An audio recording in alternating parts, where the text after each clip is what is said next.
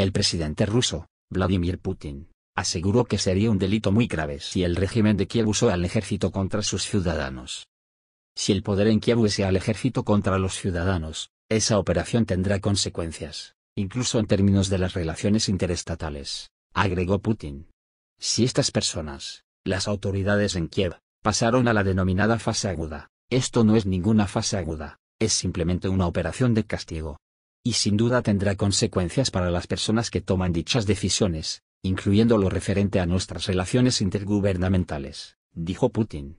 Putin señaló que en Ucrania solo el Parlamento tiene elementos de legitimidad y que el resto de las autoridades, por una razón u otra, no son legítimas.